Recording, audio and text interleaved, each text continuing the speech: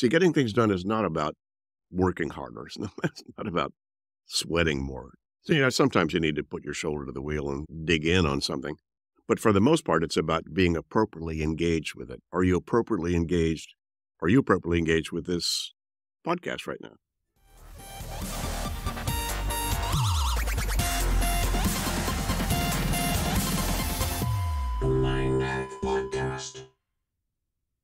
Hello, everyone, and welcome back to another episode of Mind Hack. Today, we have a guest whose influence is truly global. He's a productivity guru who's revolutionized the way that we think about work and life management. I'm talking about the one and only David Allen, the mastermind behind the Getting Things Done philosophy, commonly known as GTD. Since the early 2000s, David's GTD methodology has evolved from a best selling book into a global productivity movement. It's been translated into more than 30 languages and has helped millions gain control and perspective over their lives. He's not just an author, he's a consultant, an international lecturer, and let's not forget, a man who's had 35 jobs before he turned 35. His experiences and challenges have shaped GTD into the dynamic and ever relevant system it is today. David, it's great to be here with you. Now, David, you launched GTD in the early 2000s when information overload was just starting to become a thing. Do you think that timing was a factor in that success? I think so.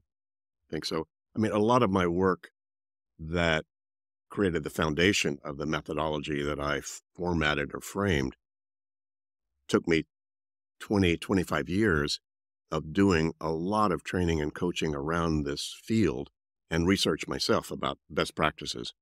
And so when I decided to write the book, uh, that was really, it took me that long to figure out what I'd figured out. Hmm. And that it was essentially bulletproof. You couldn't punch a hole in it. And that nobody else seemed to have done it the way that I did that or that I, that I framed it. And so at that point, that was when a lot of our early clients, as we were doing coaching and training in this, were, were industries that were starting to deal with rapid change, flattened organizations, and the input of email and virtual communication. We didn't call it virtual communication back then, but the asynchronous stuff of email. I mean, it was a brilliant thing that showed up, but people were starting to get overwhelmed with a bit of the tsunami of emails and inputs and change that was going on in these organizations. And so that was a ripe audience, obviously, for what I had come up with because I framed it in a world that wasn't necessarily that busy or chaotic. Hmm. I framed it because it was just cool stuff to do and helped me stay clear, even as busy or complex as my life was. And then what I came up with, it turned out that was the ripest audience for what I'd come up with, were people who were starting to experience that pressure of the world that was coming at them. And yeah, it was very much started. I got onto email in, gee, 1995, 1993, something like that. And with EasyLink, that Radio Shack Model 100 tied Hmm. to my IBM XT, Hmm, a little, with a little storage drive in it. And that was brilliant. How cool is this? But it's been fascinating to watch that transition probably faster than we thought it was going to. And now for for our listeners who are unfamiliar with GTD, could you give a brief explanation about what the concept is? Sure. Well, the idea was how do you stay clear and focused when you have a whole lot of stuff you have to deal with? And a lot of it was about being able to clear your head. How do you get a clear head when you have all that stuff that comes into you and that you've allowed into your own personal ecosystem? All those things, if you've allowed it in, that means you have some internal or subliminal commitment with yourself that you need to decide or do something about it or figure out what it means. So I just figured out what's the algorithm about how do you take stuff that has your attention, little, big, small, personal, professional, doesn't matter. Whatever you've got on your mind, how do you get that off your mind? See, there are a lot of things listening or watching this, a lot of people listening or watching this right now that have a lot of things that are not on their mind and yet they're involved in it because they've appropriately captured and, and clarified and, and organized the, whatever the results of that are in some sort of trusted place. You know, like a calendar. If you trust your calendar, you trust you have all the right data in there, and you trust you'll look at it as often as you need to, then what's coming up in the next two or three or four weeks is not on your mind right now Hmm. because you trust that I have now captured and clarified and organized that in a trusted external brain, if you will. So I just figured out what that was about. Most people have a calendar, but most people are not doing that same thing with all the other commitments they've got. So I just figured out what the algorithm or formula was. Okay, take anything that's on your mind. What do you need to do to get that off your mind? You need to capture it. You need to identify what it is. There are five steps, which basically my methodology is kind of, I didn't make them up. I just recognized what they were. How we take any situation and get it off our mind or get it more in control and more focused. First thing you have to do is say, well, what's on your mind about this? What's not on cruise control? What's not on automatic about this situation? Oh, that needs to happen. Oh, I need to do that. Oh, that needs to change or I need to do something. So capturing all those things, write them down, capture Yeah. them somewhere, get them out of your head. And then what do I need to do about that? Then the clarify step, that's step two, is I need to decide is that something I'm going to do something about? Is that trash? Is it reference? Is it something I need to be reminded of later on? That's a clarify step where I need to make some decision about what this really means to me since I let it in. And then step three, well, I need to, if I can't finish whatever that's about, if there's something to do about it within a couple of minutes, then I need to track it somewhere in some sort of organizational system. And that's where the kind of external brain shows up out there. I need lists. I need a list of the errands I need to run, list of things I need to talk to my boss or my wife about. I just need to keep track of the stuff that I've decided I need to do, I haven't done yet. And then step four, once you've captured, clarified, and organized your stuff, then you need to make sure you look at your list. If you're going out and about in your, you know, transportation and you're about to do errands, you need to see a list of all the errands you've told yourself you need to run. Doesn't mean you need to do them all, just means you don't need to miss any. You don't want to go back home and go, oh, forgot, I should have. Well, come on. It's wasted energy and space. And then step five is then you engage based upon having captured, clarified, organized, and reflected on all of your commitments at all these different levels. Then deciding what to do is more of a confident choice as opposed to, gee, I hope this is what I ought to be doing. So I just discovered that algorithm or that formula. But everybody does that to some degree. But most people don't really apply that across the whole spectrum of all of the things that are on their mind that they have commitments about. So I just uncovered how cool it is if you actually do that. Yeah. When I first read your book, one of the things that really was this amazing, wow, that's so true, is that idea of capturing those open loops and that we all have these things that constantly pop into our heads about, oh, I need to take out the trash. I need to, to, to write this report. And then you forget about it. And then the thought comes back up again. And so I think a key part of your methodology is teaching us to be more conscious and aware when we have these these thoughts that pop up into capturing them into a single central place. And I think that's one of the, my favorite parts of the system. If your mind had a mind, it doesn't, by the way.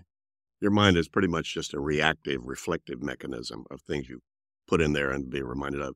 If your mind had a mind, it would only remind you of things when you could actually do something about them. Hmm.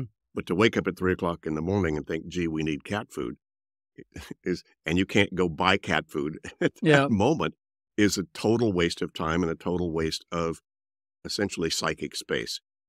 And so I just said, how do I get the most space out there? And how do I keep those things from popping into my mind? And that's to your point. You have to make sure you've captured whatever that thing is. Doesn't mean you have to go buy cat food as soon as it occurs to you. Just don't have that thought more than once, unless you like thinking that. So there's no there's no reason to have a thought more than once unless you like having a thought. Very true. Now, you've talked about having 35 jobs before age 35. How did these roles specifically inform the creation of GTD? They didn't really. They, I just didn't know what I wanted to do when I grew up. Hmm. You know, I was very much into my own personal spiritual exploration, who I was. You know, I, you know, come on, this is. I dropped out of graduate school in Berkeley in 1968. I mean, this is like like personal growth exploration time. So, I was more interested in finding out who I was, how the universe worked, and what all that stuff was about, because I'd had some experiences. of some that were somewhat transcendental. And, and I was trying to figure out where all that came from. How do I get more of that? How do I use that? And so a lot of the jobs were just because I had to pay the rent. People weren't paying me money to go do that kind of exploration. So I had to go. Rice Bowl and Cave was not my not my thing. You know, I preferred good wine, attractive women, you know, and fun things to be doing. And so that's why I, a lot of those jobs were just because I needed I needed to pay the rent. And so I had friends or people I knew in my network who seemed to know what they were doing. And so they'd started businesses and they had small operations and enterprises going on. I became a really good number two guy. So I was really good at show, just showing up and going, how much easier can we do this? Because I'm Mr. Lazy, believe me.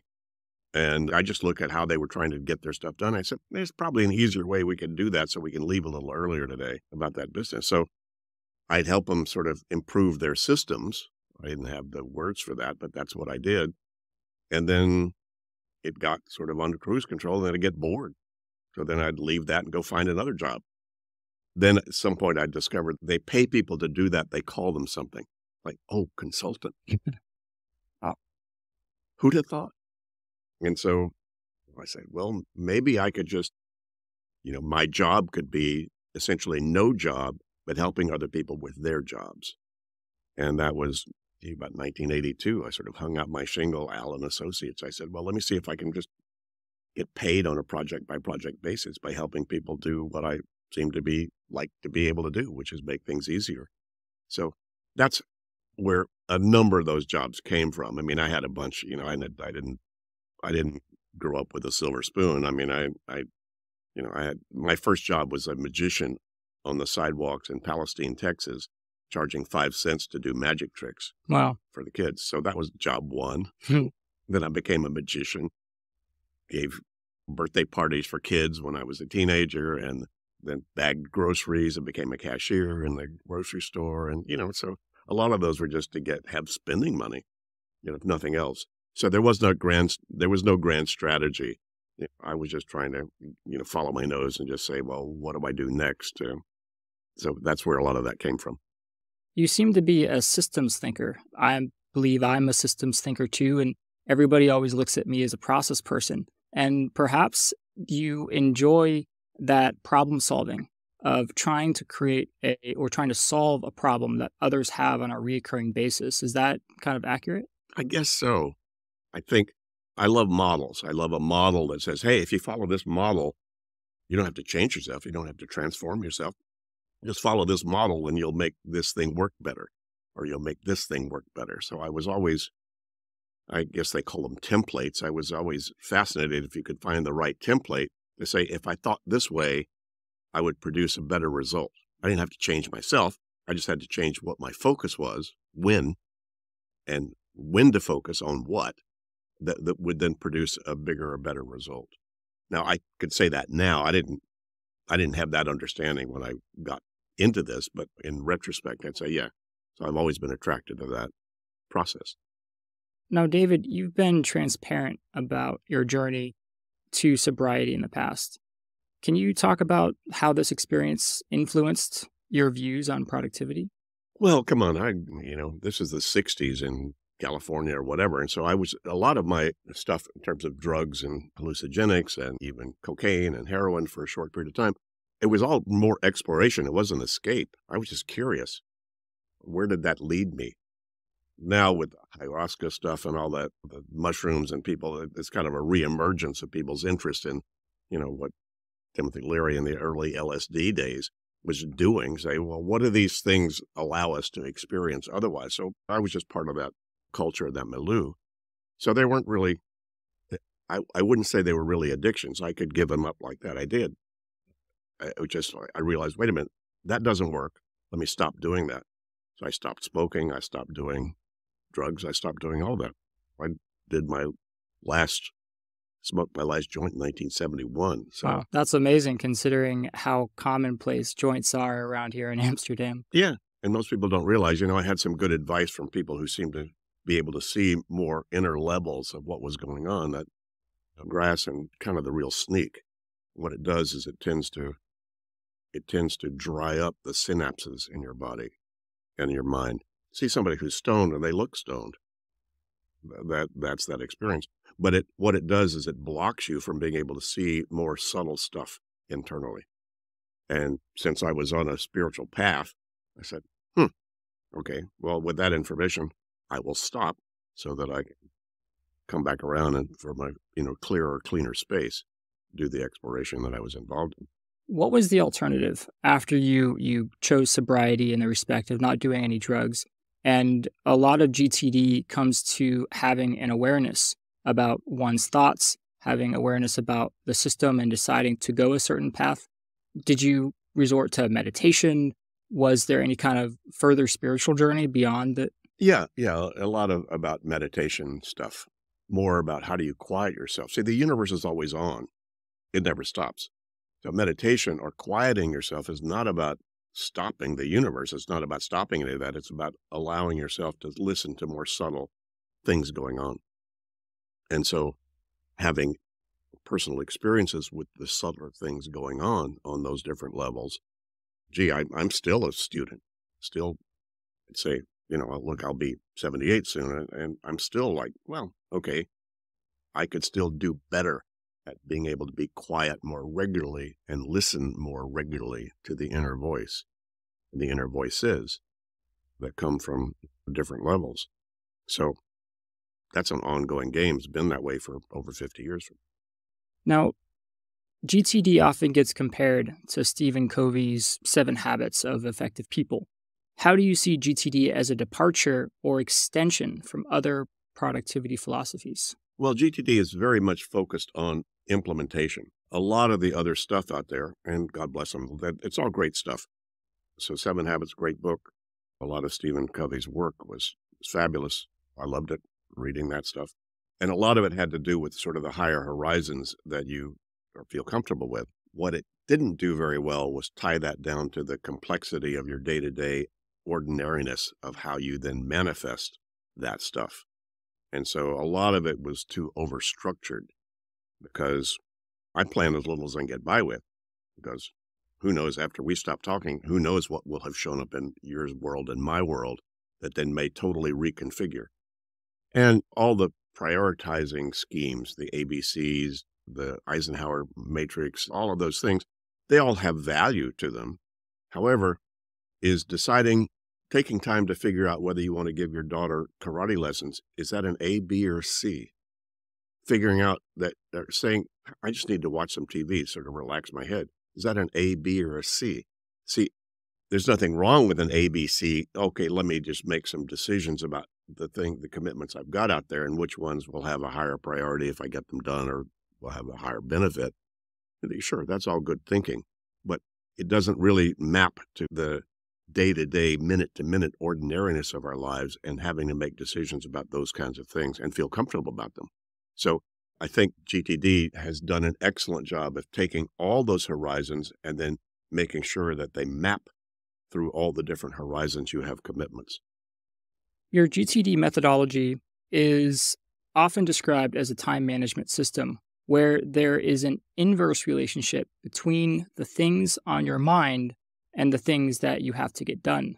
Was there a philosophical or psychological basis for this approach? No. It's just practical reality, just practical experience. You know, I had a mentor who who in 1982 walked me through getting things out of my head and making next action decisions about them. I wasn't broken at that point. I wasn't I didn't feel like I was disorganized or out of control, but it produced such an incredible experience. That's what clear space feels like. I, I had no reference point about what it was like to actually have none of that stuff on your mind. But once I went through that process of capturing and then and clarifying next actions on all the things that had my attention, it's like that's an amazing result.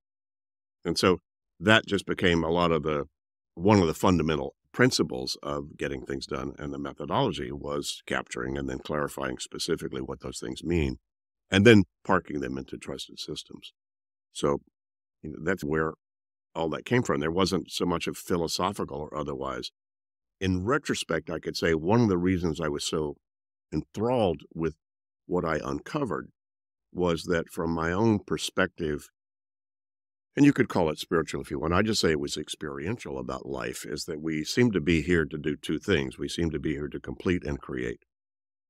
Right? So we need to be accountable for all the things we put in motion that are coming to us that have our attention, whether you whether that's 14 lifetimes ago in terms of your karma that you've got now, or just the things you told yourself to buy at the store you haven't bought yet, to everything in between. So all that's about stuff that that will start to take your energy to wrap around it and to engage with it. And for most people, that's inefficient because they're having to rethink the stuff. I haven't parked it somewhere I trust. I can't get it truly off my mind because it keeps occurring to me. So the whole completion idea is to just identify the stuff that you have put in motion. Little, big, personal, professional, doesn't matter, but identify what it is and then park that somewhere that then you can engage appropriately with it. See, getting things done is not about working harder. It's not, about sweating more. So, you know, sometimes you need to put your shoulder to the wheel and dig in on something. But for the most part, it's about being appropriately engaged with it. Are you appropriately engaged? Are you appropriately engaged with this podcast right now? Are you appropriately engaged with your business right? Are you appropriately engaged with your trip right now to Amsterdam? Are you appropriately are you appropriately engaged with your health, with your cat, with your mm-hmm. dog, with your relationships, with your company, with your whatever?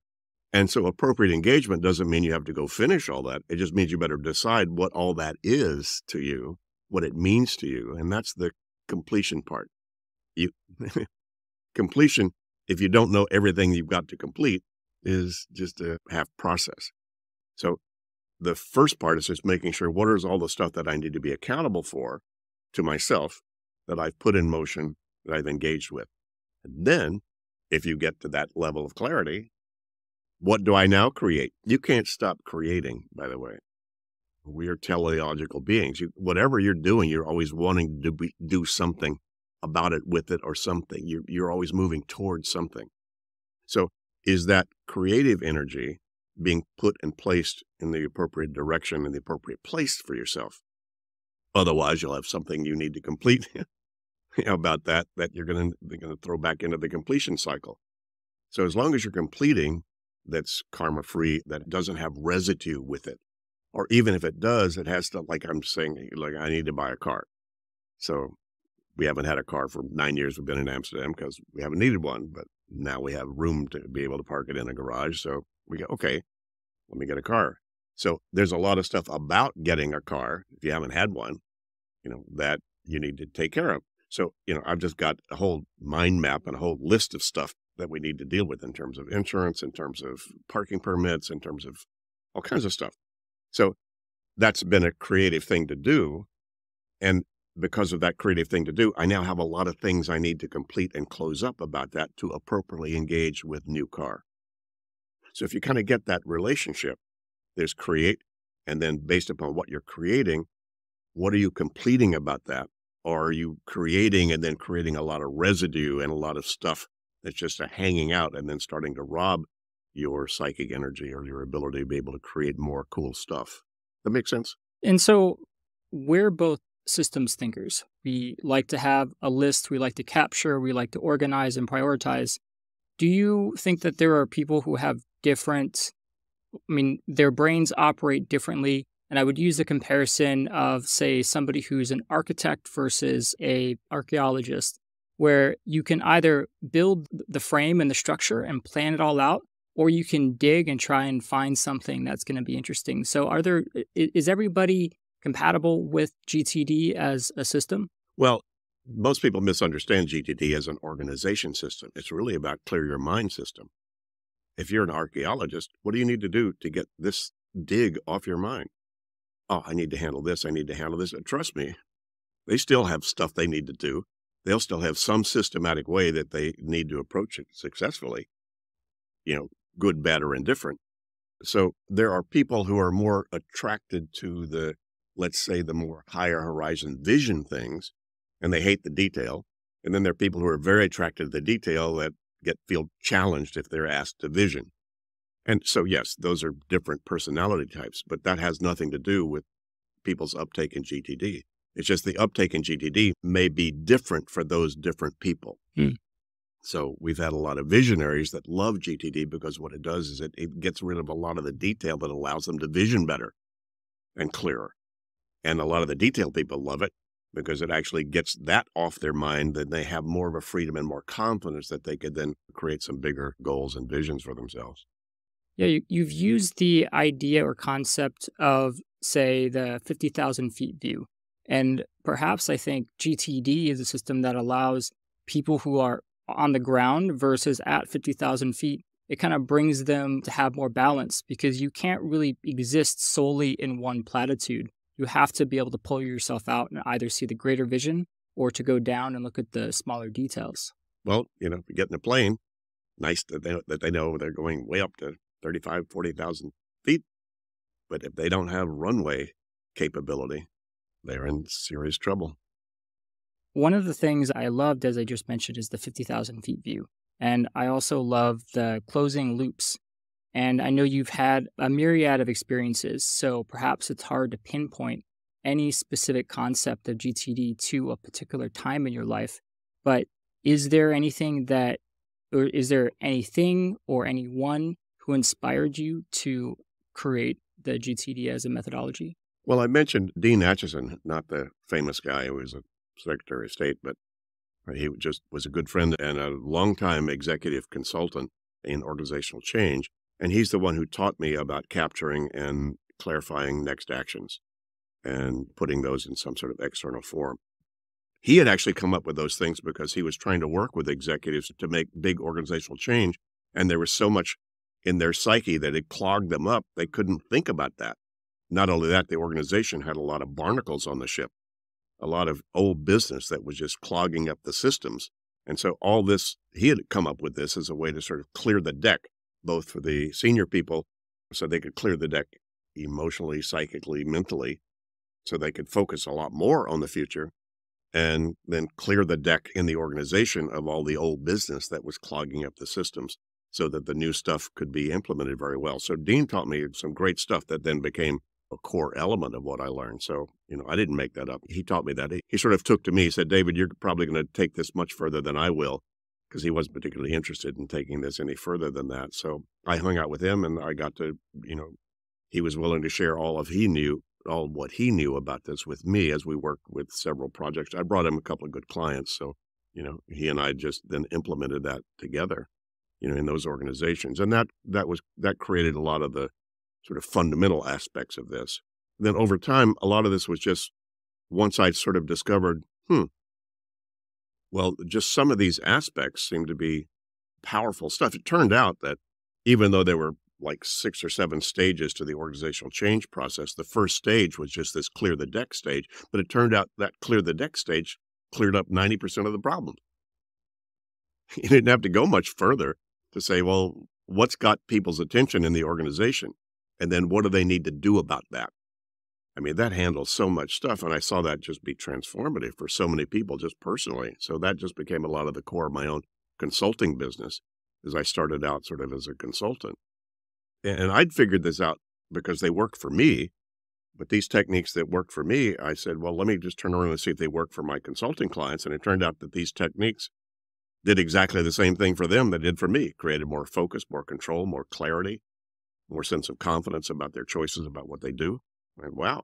So that became a lot of the core of what my consulting process was. And then some senior guy in a big corporation saw what I was doing and he said, David, we need that whole thing in our organization. Can you design some sort of training or seminar around what you've come up with that we could reach a lot of people, at least with the model about what this is instead of one on one? So I did. It was a very successful program back in 83, 84. We did a pilot program for a thousand executives and managers at Lockheed in California. And it was highly successful, more successful than any other training programs they'd ever done. It could have fooled me. I had no idea. So I found myself sort of thrust into the corporate training world back then. As an American intellectual history major in Berkeley in 1968, if you'd told me I'd be thrust into the corporate training world, I'd say, "Oh, come on, what are you smoking? Gee, you know, who, who are you kidding?" So that was the, kind of the last thing I ever thought I was going to be doing. But it turned out those are the ripest audience. We mentioned this earlier. For what I had come up with, and they were willing to pay for it. So I found myself thrust into the corporate training world. A lot of my consulting turned into coaching one on one desk side with a lot of senior people who ran across my stuff in these organizations and wanted me to sit desk side with them and handhold them while they actually implemented this process. So that was where you know I literally spent thousands of hours one on one desk side with some of the busiest and brightest people you'd ever meet. And that was a lot of the foundation of then I was able to feel confident about writing, getting things done. But as I say, it took me 20 years to figure out what I figured out, Hmm. you know, doing all that work. But it was bulletproof. It held water in some of the fiercest environments that would challenge you if you couldn't stand toe to toe with the best and brightest with what you were trying to teach or coach them about. They'd spit you out in two seconds. But I went viral inside those environments out there. So I said, hmm, well, you probably can't punch a hole in this. So I felt confident to go ahead and write the book. I had no idea whether the book was going to be successful or not. I just needed to get it out of my head and write the manual. In case I got run over by a bus, I'd say, well, at least here, somebody could figure it out because I figured it out. And I still wasn't even sure somebody could read the book and get it. So the first weekend the book was published, somebody, woman in Philadelphia, I think, wrote me an email. She picked up my book at Barnes and Noble and she said, David, I read your book and implemented it, It changed my life. I went, oh my, the book actually could work in terms of something that could just people could read it. Because I had a lot of coaching. They said, well, David, you know, if you can hang out with people personally, people listening to this, by the way, just by listening to my voice, will could potentially feel more inspired about it because it's real stuff. And so they say, well, I don't know if you can put you into a book. So, but you know, we did. So mm-hmm. at that point, that sort of created a change in my career, or at least a, a, a new vector in my career. I said, okay, I guess this is scalable. I guess this is something we could potentially find some way to distribute to more people in the world that might be interested in having it. It sounds in some ways like Dean was a visionary and you were the implementer, and then you added on to a lot of his concepts and Yeah, theories. that's accurate. So you took you took a concept that he where he was the original inspiration, and you were able to build on top of that. So why didn't he write the book, and what pushed you? What motivated you that you had to push this idea out in the world? Because we all have ideas and creative ideas and thoughts. Maybe a lot of people will write a blog post, but very rarely do we stick a, a flagpole in the ground and say, This is it. This is what I'm going to focus on. This is what I'm going to do, and go from there. Well, first of all, Dean, my mentor, he liked to climb rocks, do audio work for not not for profit charity events. He loved to do that kind of stuff. He didn't want to write a book. He didn't want to take this any further. That's why I said, David, I think you probably are going to take this much further than I would. And for me, it was simply, gee, I don't know, it was just follow my nose. There wasn't a big strategy about this. I just, at some point, I said, okay, well, I guess I don't know that I could do anything else. I've still always said, hmm, well, if, if suddenly everybody in the world has got GTD and they don't need anything more and nobody else wants the book, I mean, over 3 million have been sold out there now in some version in all these languages. But it's, it's maybe that was everybody who will ever want it. So then I'll go back and wait on tables again, would be my second preferred profession. So in, some ways, it's also not having a backup option. This was the only only path that you saw, and you had to make it successful. Well, it's not that I had to make it successful. Yeah, I guess it was that I had to make it, but I didn't feel driven by it. I just felt like pick up the phone, respond to people. Once I put this out, then respond to people who are interested in it. I've never done any marketing. We've had people that now that have come into the business that have helped us help frame what does the image look like? What does our brand look like? What do we do to make sure that the brand is comfortable and safe out there in terms of what it is? But all I've ever done is just pick up the phone and, and then follow my nose and just follow, much like pick up the phone or you know, respond to your email. Say, okay, I don't have any drive to do this other than people are interested in it and I couldn't help sharing it. And come on, this I've been graced by God all the powers that be to have uncovered something that does nothing but help people improve their condition. Little, big, personal, professional, everything from eight year olds to chairman of the board of large corporations. And we've seen it and we've done it. And that's the, it's like, wow. also, because I'm so lazy, I don't have to change what I say no matter who I talk to because it's, it's all the same thing. It's all the same principles. And so to have had the good fortune to have uncovered something like that You know, GTD is not like this is not like running with scissors. There's nothing dangerous about this. You could take any you could just take the 2-minute rule. That would improve your life.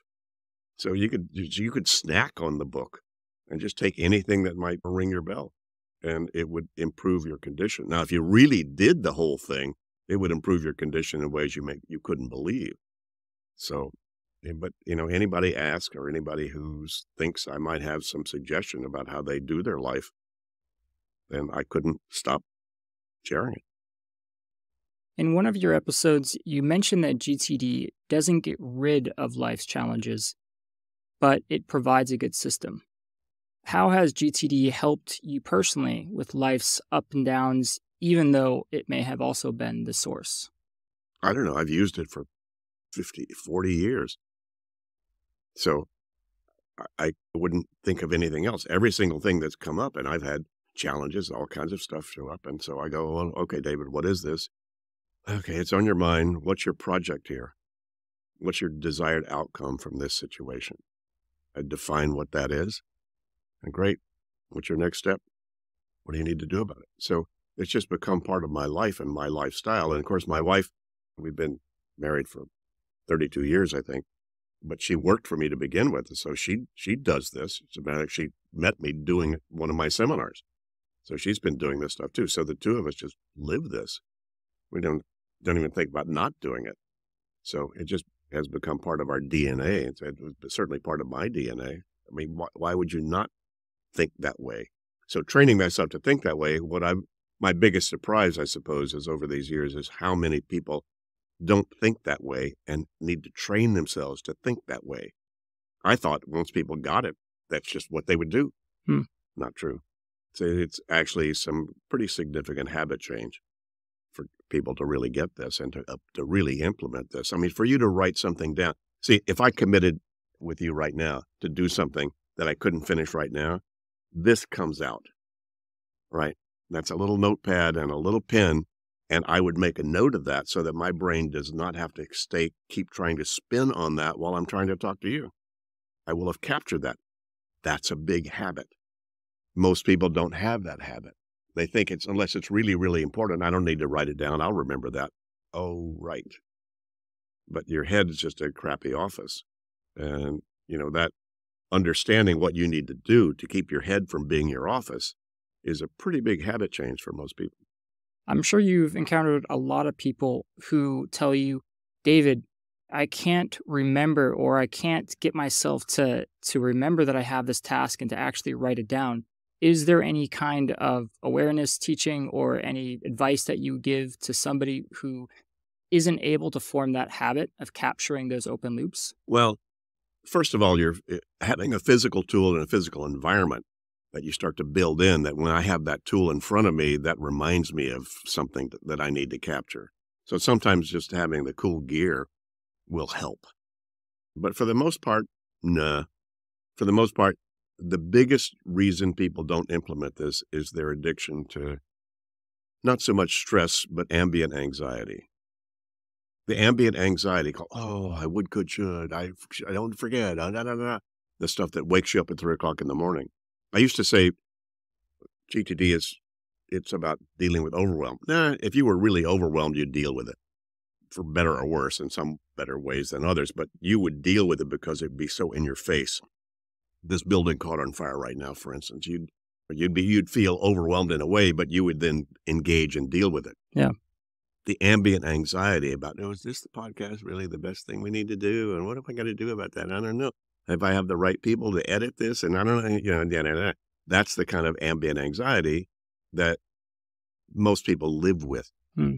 And most people are not used to what it would be like if you had, if you didn't have that. And so a lot of my job over the years has been to kind of, hey, folks, come on in. The water's fine. It's actually possible to be buried and have nothing on your mind. And at least I can model that or demonstrate that. And then at least let people know that's a possibility. Once you get more used to that, probably in your life, as you got more used to having your clearer head, you just wouldn't tolerate not doing that. Right? You would do then have to do what you needed to do to get make sure you got back to that level of clarity. It's like taking showers, brush your teeth, whatever. You know, you only do that because it'd feel bad if you didn't do it. And those became habits. And I find that when you're able to remove that ambient anxiety about all those things you have to do, you have room and clarity to actually be able to be creative, to focus on one specific purpose that can help drive you. Yeah. And that's important. Or just relax and do nothing, eh, which could be very healthy. Tim Ferriss, another big name in productivity, has lately shown a shift in his philosophy, focusing more on the quality of life rather than just efficiency.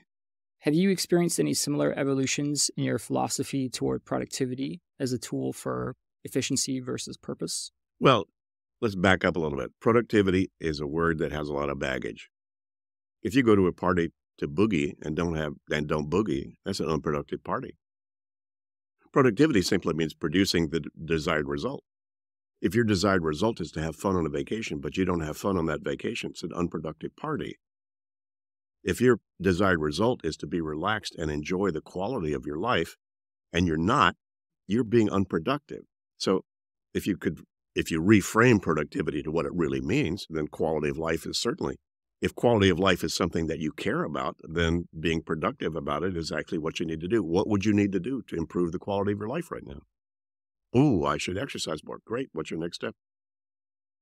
Oh, oh, I should just learn to relax more. Great. How could you do that?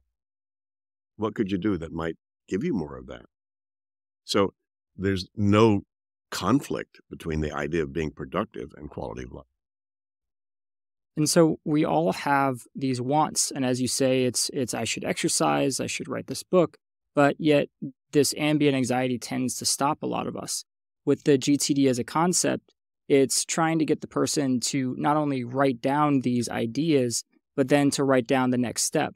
Do you find that clarifying the next step is that the biggest difference you see in people's ability to pursue these long-term goals? Well, it's one of them.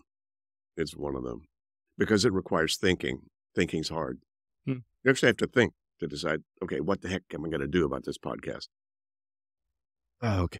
What's the next thing I need to do? So deciding the next action without deciding the next action, it allows you to not have to think so much about it, but just assume, oh yeah, we're going to do something about this. Right. What? You know, what are you going to do about it? And if you don't care, say, okay, when would you like to be reminded about whether you ought to do something about this or not? Hmm.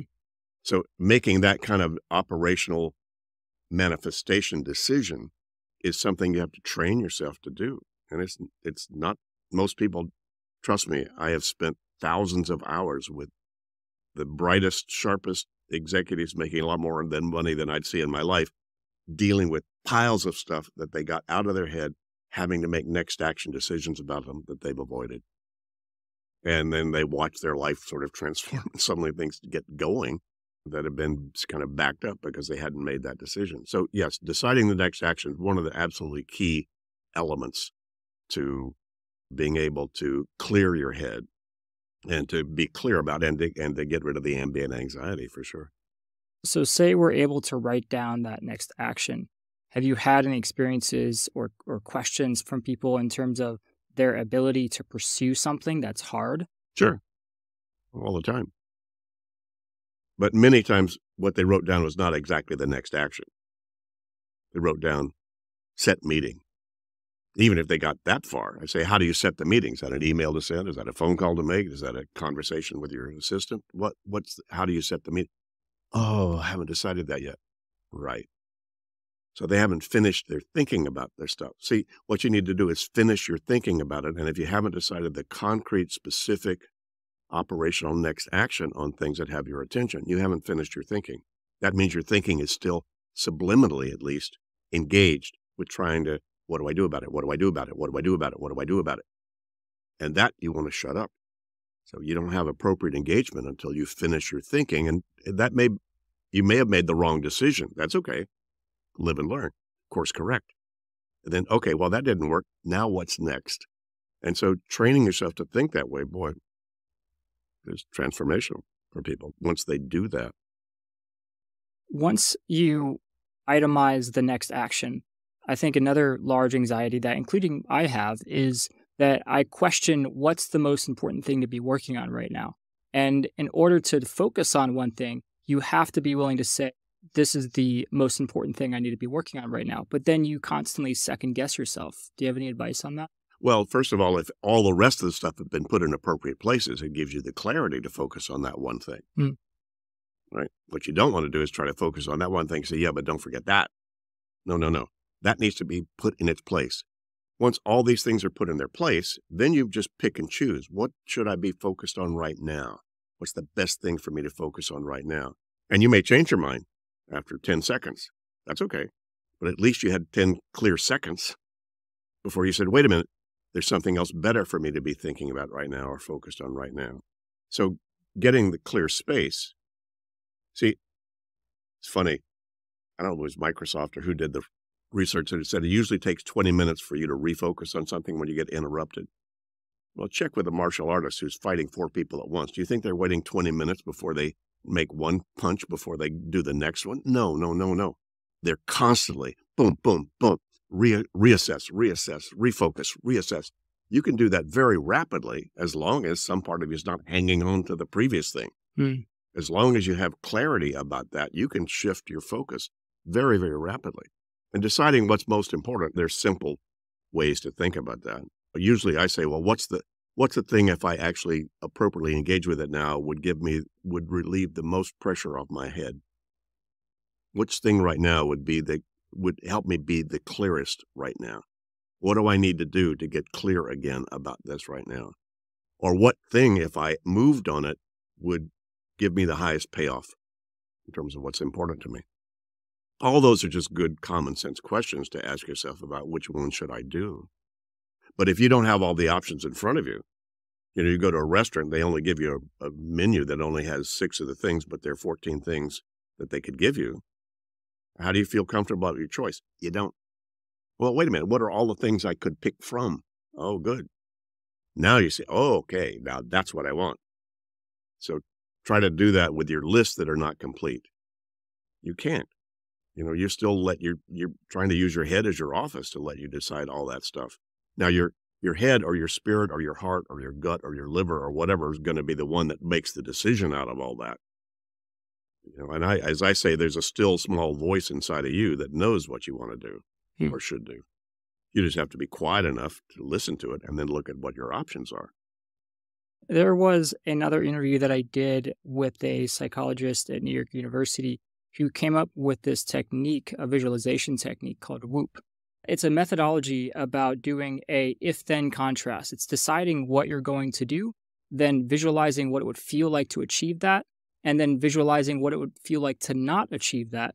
And then to ask when this barrier comes up, what's the if then scenario? If, say, I feel tired, I'm going to just work on it for 10 more minutes as a way of alleviating that that pressure, that anxiety that we give ourselves. Is there any visualization technique or any recommendation on terms of how to think about things? And because thinking about things, as you say, it's hard and not everybody wants to do it. And thinking about something that has a lot of tension or weight to it, it creates even more anxiety. So we feel even more pushed away from actually even wanting to think about it. How do we find that strength to focus on what is the next action, since that seems to be the key thing about clarifying? Well, a simple answer is beats me. You know, if I had to make a choice about that, I'd say ultimately it's about the ideal scene. Back to the wish part. What do you want to have true? Why is this even on your plate? Why are you even having this decision? It's because what would be true and how much do you want that? And are you willing to deal with not having that? You know, sure. Well, you know, even back to the old, okay, get a piece of paper, draw a line down the middle and say, okay, here's the plus side of these things, here's the negative side of these things, and just write down all the things that show up and then see which one has the highest weight. You know, so there's a lot of ways that you could, I guess, frame you know, so your priority thinking about anything. But I would suggest ultimately, it's like, well, wait a minute, what are you really after? What do you, what really matters to you about this? Why is it even on your list? Tell me what the purpose is, because a lot of people have forgotten why they actually have something on their list. Say, well, wait a minute, why is that there? And so eh, backing people up back to purpose. Well, what's the purpose of this thing if it's completed? You're doing this because of what? And that, the reason it even showed up And there may be now a different reason, or it could be that, oh, gee, that's probably not the best way to achieve what it is that I'm after. Maybe you say, well, I want to have a more relaxed lifestyle. And so you came up with some project about buying a sailboat or something. And then, you know, you say, well, wait a minute. Should I really buy that sailboat or not? I don't know. Well, quality of life. Go back to that. Do you think that'll give it to you? Or something else showed up out there that instead of sailboat might be even better than that. So you always back up to the, you know, the old business thing, the five whys. Well, gee, why are you doing this podcast? Oh, yeah. Well, why are you doing that? Well, why are you doing that? Well, come on, why are you doing that? And at some point, if there's no further answer, you're probably at your, as you say, 50,000 feet. We call that the level five now because the book is in all over the world and they don't use feet. they use, you know, more elevator levels, you know, so ground level, level one, two, three, four, and five is how we reframed that. Now, you've probably encountered a lot of busy, tired, burned out executives, CEOs, entrepreneurs. And as somebody who existed in that startup entrepreneurial phase for a long time, my sole p- purpose was the business. I wake up, I work on the business, and then I went to sleep and did the exact same thing the, the next day. As a result, I would repeatedly get burned out and I didn't have that work life balance. What advice or opinion do you have that you give to these executives who want to work, but perhaps they don't know why they're working and they're not able to balance out their life because they're solely focused on the business, but they need to have more of a, a personal life or to relax more? Yeah. Well, you know, one of the horizons we talk about is Horizon Two, which is your areas of focus and responsibility or accountability. And that would include quality of life, it would include all kinds of things. We say, well, what matters to you in terms of quality of life? Some people is like, look, I'm willing to burn out for two years because I'm just balls to the wall because I want to make this happen and I'll deal with the other thing as best I can. It's like, fine, up to you. I don't have, I have no judgment about whether you choose to do that, have that kind of lifestyle. You just need to be clear that's the lifestyle you choose. If you say, I don't know if that's the lifestyle I want, say, great, what would the lifestyle you want look, sound, or feel like? And so then you come back to. Are you being productive about what matters to you in terms of quality of life? Because I, by the way, I've met people, I worked with a, a client one time over several years, and he was so engaged in foreign policies and traveled the world and was doing some of the most high level stuff you can imagine in terms of foreign policy research and engagements. And he would have people that wanted to apprentice with him and they just had to follow him around because they knew if they did that and they had a potential burnout capacity or capability because of the nature of that job. But they knew if they did that for two years, they could then write their own ticket in terms of career. So that was just their choice. So there's nothing right or wrong with that. You just have to decide is that what you're willing to do and put up with? So you made that choice that you wanted to do that. But then at some point you had to go, wait a minute. Yeah, I'm not sure. One of the strange things about people who really get into getting things done and really get the GTD process and start to implement it, they get so excited and so enthused that there's so many things they know they could do now. and so they start to overwhelm themselves with all kinds mm-hmm. of projects and all kinds of things. And I had a guy, a very senior guy in one of the high tech companies, who said, David, it took me about a year or two to realize, wait a minute, I'm burning myself out with all my enthusiasm about how many things I could get done now. he had to back up and go, well, wait a minute, that's not about what GTD is really about. And he had to then back up and then rethink quality of life stuff. And then undo a lot of his commitments because they weren't taking up room that he should have used for you know, more quality of life kind of stuff. So that's not an instant change that somebody could make. It may may take you a while to then come to that realization, but if you do, sooner than later, yeah, that's that's great. Because an important part of the process is that review phase, and I find that that's where I sometimes get broken. I use a software called ClickUp. It's brilliant. It allows me to work with people and project managers and contractors, but simultaneously, you can put endless numbers of lists. I have lists for handyman, for personal tasks, then I have a one for personal projects, and then I have a list of projects. And it is overwhelming. And it's also not probably the best system because you can end up easily overwhelming yourself. And then my review process every week would then have to be to look at every single list or I'd have to decide is this list, do I need to review this list every week? But then you start losing confidence in that system. And then you keep on, do you start to have these open loops again. Well, someday maybe is the big key. See, right now, how many things are you not doing right now? How many things am I not doing right now? Huge list, right? That is either okay or not okay. So you could glance through all that stuff and say, you know, all that'll wait for two weeks or three weeks, or let me just trigger that or tickle that for a month from now to rethink those things. So you'd have to then decide how much stuff that you're, you know, how big a menu do you want to have when you go to a Chinese restaurant? Hmm. Yeah. Usually it's like overwhelming or an Indian restaurant or whatever. It's like, oh, so many things. Yeah, that's cool because it allows you to have really make good choices. So the bigger the list, the better your choice is going to be. What you don't want is to miss anything that you don't want to be missing. So that's the only reason to review all those lists. Is that what should I not be missing right now about this? And anything else, that'll wait till my next weekly review. There's a book called Thinking Fast, Thinking Slow by Daniel Kahneman and Amos Tversky, who wrote a book that's kind of like the holy Bible of psychological fallacies and biases.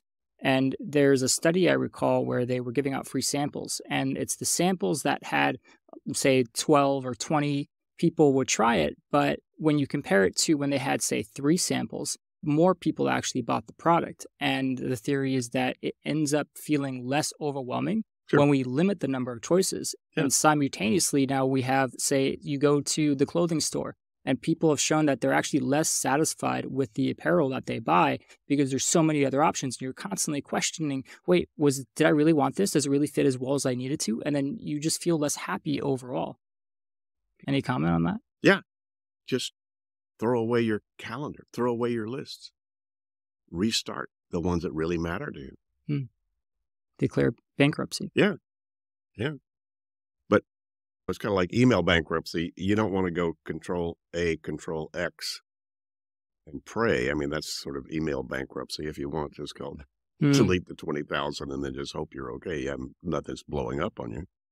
But you probably should go look through all that stuff and make sure no, there are no landmines in here that you don't want to miss. And then just scale it all back. Otherwise, you're just addicted to your stress.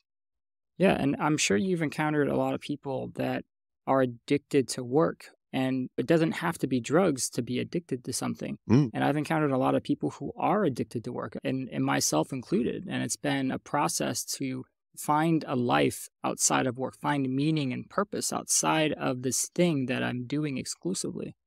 Yeah. Good luck. Yeah, thank you. Just moving on, I'm looking at have you heard of Tiago Forte? Sure.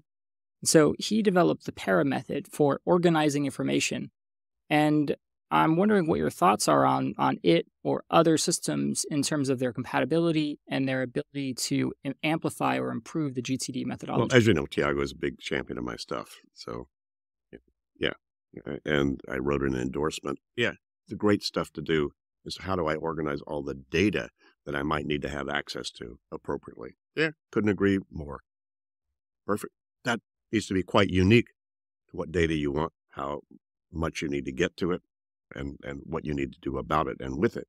So, I mean, now with AI, that has that's changed that game dramatically in terms of what do I need to keep track of because I can now trust that AI will give me the data that I need when I need it if I want to be able to do that. So I don't know what Tiago's thinking about the AI stuff. I'm sure he has thoughts about Chat GPT and all that stuff going on now.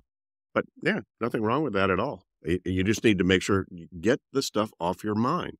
What do you need to do to get it off your mind? So you need to have a reference system so that it's off your mind what's in that reference system or that you'll get you'll have access to what you need.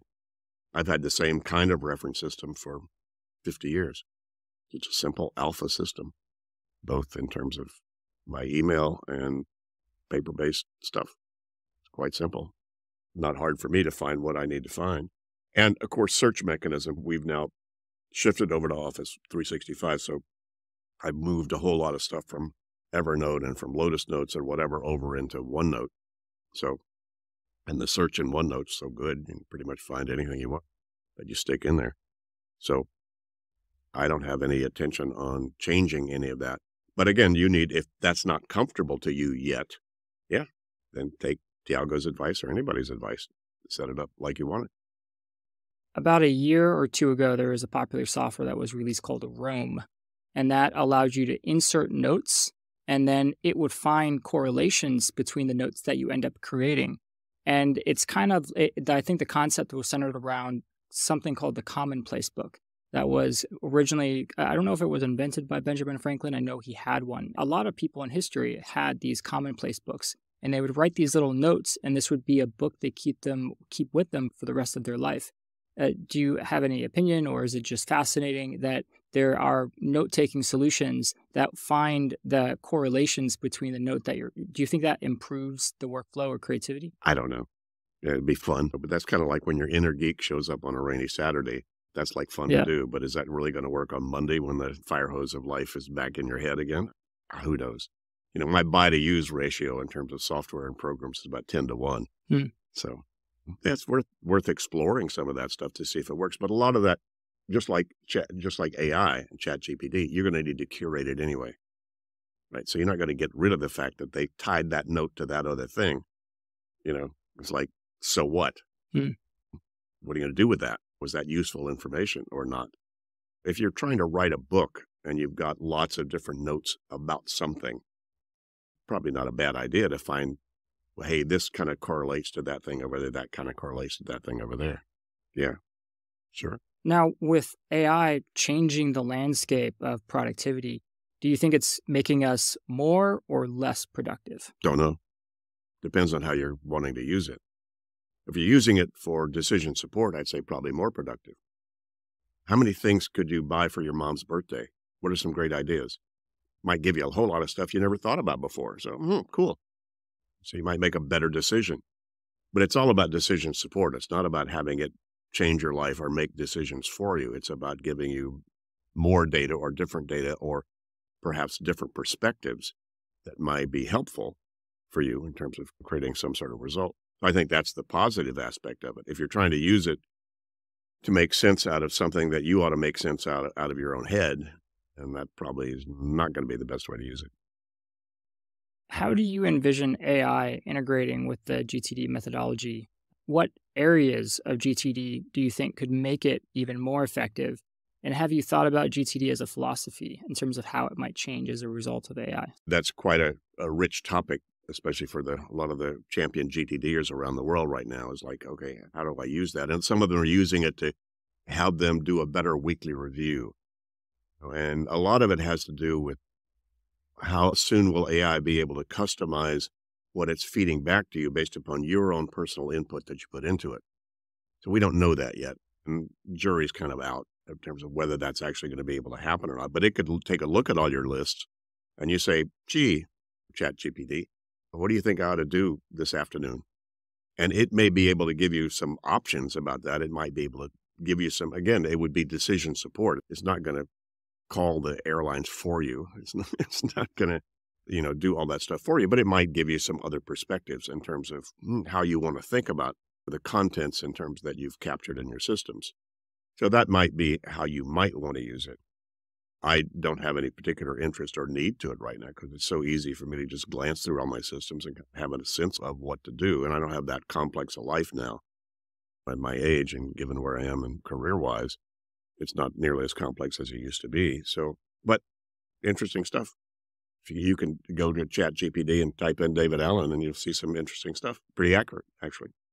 Or ask it to act as if it were David Allen and to give you advice on topics. And I'm sure it has enough data yeah. in the database. And I have a very good friend and one of our partners in Europe who's using it quite a bit. What he does is he gets long emails from people and he puts it into Chat GPT and says, Give me a summary of this and he said that it saved him a lot of time. So, you know, those could be things to do. I don't get a lot of that stuff, so I haven't tried that out, but that's a possibility. I actually don't think that we're too far away from an AI that you can say, order flowers for my mom. And it has the context information to know who your mom is from your iOS contacts. And then it's able to find three different vendors and then call them and then determine the best one and then order the flowers and ensure they get delivered on the same day. Sure. Yeah. Very possible. The technology is probably there.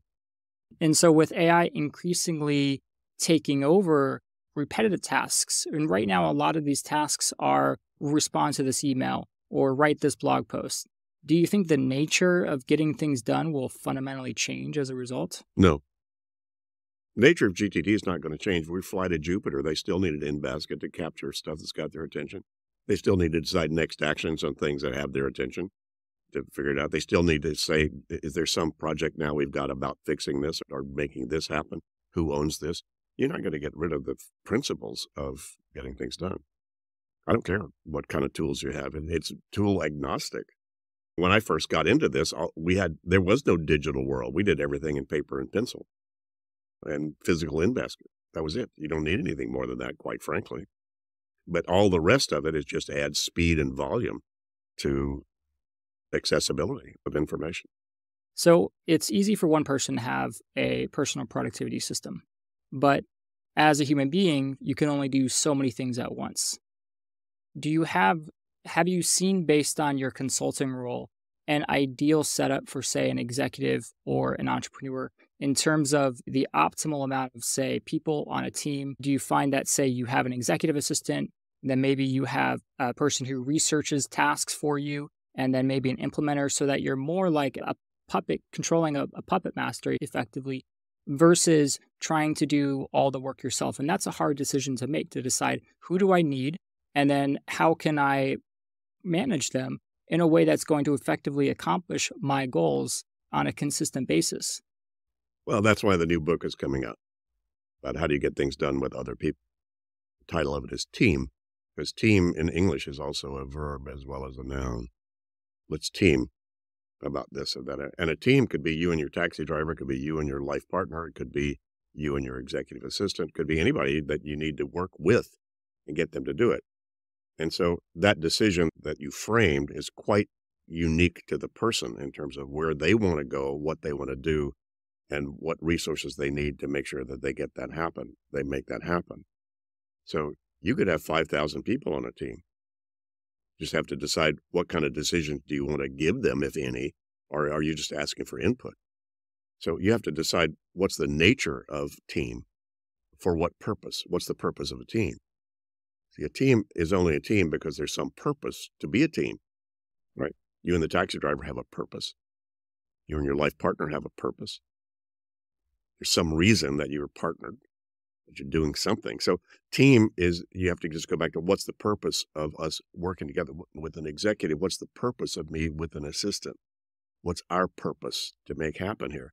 And a lot of the best practices go back to servant leadership. How do I serve him or her if I've given them some accountabilities and responsibilities and a role to handle? Are they just going to be making my airline decisions or are they going to handle the staff party? Hmm. So you have to determine what's the role, who's the team, what are the roles that people have on this team. You see, some executive assistants are just follow the executive around and do their bidding, you know, minute by minute. Some executive assistants are given big projects that they need to manage. And that's a big difference. You have to decide which is it what are you doing? So if you try to give an assistant a big project, but then expect them to be doing time based things that then keep them from doing that big project, you got burnout. So getting clear about roles, getting clear about who's doing what, what's the purpose of us working together. All those are really good questions to ask. There's no simple answers to that. They're just answers you need to come to to then just make those kind of decisions with the questions you ask.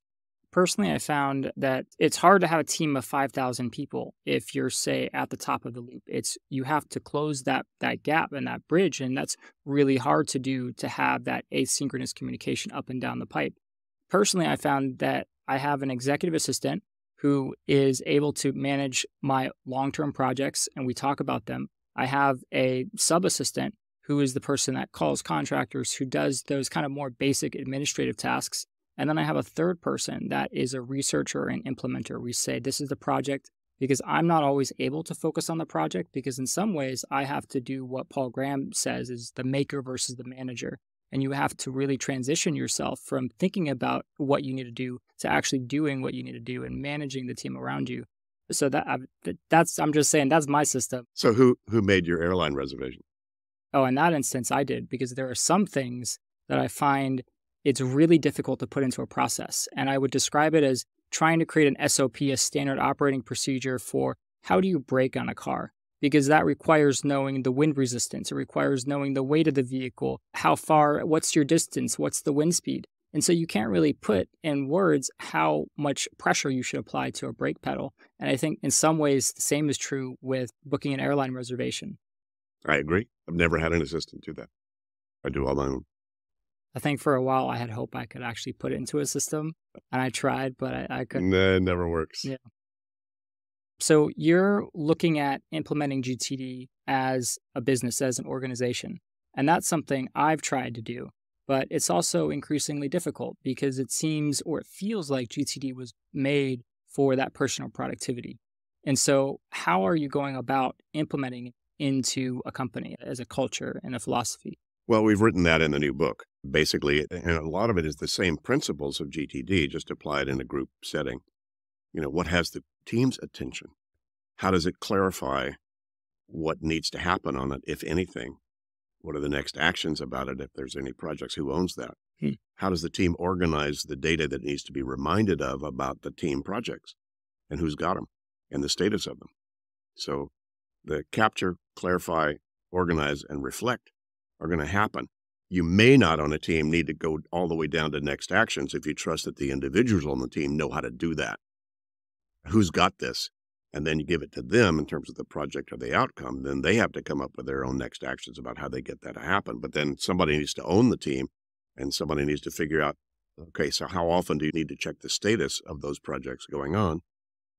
Who's got it? What's the status of it? So it's all the same principles. And then you also have all the six horizons. You have what's the purpose of the team? What's the vision of the success for the team? Hmm. What are the goals that the team may have? What are the roles of the people on the team? What are the projects that the team has come up with that are team based projects? And then what are the next actions and who's got them? So, all the different horizons vertically are going to apply to a team. And some teams are good at some of them and are not so good at some of the other horizons. And so you could pick and choose. Some teams are pretty good at capturing, but they're not very good at clarifying. Some teams have gotten real organized, but they don't know who needs to reflect on the status of these things how often.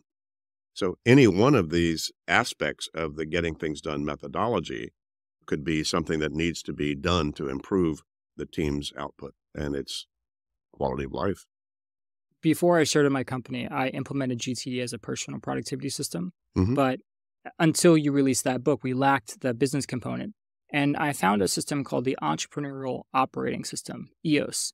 And now they have consultants all around the world and they call them implementers because a lot of business owners will read this book. And I found it absolutely fascinating. I actually had a CEO at the time and I told him, You need to read this book. And this is a book that teaches you how to operate a business. You have a 90 minute quarterly meetings. You have rocks that you can't change, that which are basically your goals for that 90 day sprint. Then you set sub goals to the team. You have a weekly meeting. Even you start that meeting with everybody going around in a circle and saying what's something positive that happened to them in the past week. And so it's a very structured, very ritual. It is any, how does GTD compare to EOS? Is there any symbiotic relationship perhaps? I haven't read the book, but uh, yeah, all that's probably good stuff. It just sounds a little too structured for me. Really? I, I thought GTD is fairly a structured system. No, it's not. It doesn't care. It says, what's on the team's mind? What do you need to do? Do you need to meet daily, weekly? Some teams need to, for two weeks, need to have stand up meetings every month, every morning. But then if there's then having stand up meetings and somebody isn't showing up, you don't need the stand up meeting anymore. Hmm. Now maybe weekly works, or maybe you need to, uh, quarterly is okay. So believe me, life is changing much too fast than what you're talking. Try to get a movie crew that's putting together a movie to do that. Doesn't work. Won't work. Not the appropriate thing. It needs to have its own kind of structure in terms of how often do we need to get together to find out what's going on with the script and what's the da da da da da. But you got all kinds of people that suddenly came together that never worked before, and then they, at one the thing is done, they're going to disperse and they're going to have another one, and that's the world now. The world now is going to have to be reconfigured regularly. Who's on your team? Wow, that could change daily. That could change weekly, especially with the global world and virtual world. So you need to be able to be as flexible as you need to be to have exactly those kinds of things. So the kinds of things you're talking about are good things to do. How often do we need to have a conversation at what level? With whom? But if you try to overstructure that, maybe it works, but your world's probably going to be changing a lot faster than that. As long as you have the freedom to change that as you need to. You know, one of the things I find fascinating that I've started to notice as an entrepreneur is I'll see broken systems in other businesses. And an example might be a hotel where the maids are not trained with a singular process when they're onboarded. They're relying on the maid's previous experience and previous employer, which they may do things a little differently. So there's not that level of consistency that in some ways you need for an organization. Have you seen these things like sure. seen these? Oh, just read Atul Gawande's The Checklist Manifesto. He wrote that years ago. Like saves a lot of lives to have surgeons make sure they wash their hands. Hmm. Follow the checklist. What do you think pilots do when they get in the plane? Have a checklist. Right. And the reason pilots do it and surgeons don't is because the pilots are in the plane. Believe me, if you had to operate on yourself, you'd have a checklist. You know, so yeah, checklists are great. Just make sure you have the right checklist, and then course correct it if you need to add something to the checklist. I have a travel checklist, full page Word document. I don't pack everything on that list, but I make sure that I don't miss anything on that list. I made the mistake if I was taking just an overnight trip thinking I don't need the travel checklist, and then I'd forget something critical. Mm. So even the shortest little trip, I pull out that checklist and go through it and mark it off. That's now in there. That's now in there. That's now in there. As a matter of fact, I usually only do it. I hate packing the night before because then I forget what I put in there already. But I could do it if I have the checklist and have marked off the stuff that's already in the suitcase or already in my backpack or whatever, wherever it needs to be. But no, all that makes total sense. I actually have a travel checklist. I found after traveling consistency that I would have this incredible, horrible anxiety that would be days leading up to it. And then I would miss stuff. And then the, I had this idea of just, okay, let me just use Todoist and create a checklist and I'll just duplicate this as a template. And the next time I packed, I just had my iPad or my phone and I just inserted the things as I inserted them into the bag. And then I found after that that the anxiety I had experienced dramatically reduced because I trusted that everything I needed to bring with me is in this checklist. So, with GTD implemented in, say, a lot of Fortune 500 companies, do you personally still abide by the GTD principles? Sure. Wouldn't think of not doing it. If you had to describe GTD's impact in a metric, like lives changed or hours saved, what would it be? Have no idea. People do whatever they do with it. I'm not into getting people to change their lives. I'm not a motivational speaker. I am not a habit change expert. I just created the game and defined the game, and then people play as much of it as they want. And as I say, and they play as little or as much as they want, it will then give them benefit based upon that. But that's that was basically my job, and so I haven't taken on any more accountability, responsibility to get people to then make sure that that happens. We have a lot of anecdotal experience and testimonials from people about how transformational it's been, both for their organization as well as themselves personally. But that's all anecdotal. Is there any particular story that might stand out to you? Thousands, you know, no, no, no one in particular. For listeners who want to dive deeper besides your book, are there any certified GTD courses or resources that you'd recommend? Sure. Well, we have certified trainers and licensed partners around the world that offer GTD training and coaching. So they just need to go to our website, gettingthingsdone.com, and then click on training. And then you'll see all the different countries and all, wherever you are. Just click on that, and then you'll see who our partner is that you could contact. Offers both public seminars as well as in house and private stuff, as well as coaching. Well, David, it's been absolutely enlightening to have this conversation and diving into the depths of GTD and how it's not just a productivity hack, but an approach to life itself. Your insights have made an incredible impact in the world today. And if you haven't read David's book or dived into GTD, I highly recommend you do so. It's a game changer, truly. A big thank you to David Allen for joining us today. and to our amazing audience. Don't forget to check out the show notes and for all the valuable resources and links and books that we've discussed today. If you enjoyed this episode, please rate us on iTunes or wherever you get your podcasts. Till next time, keep hacking your mind and transforming your life.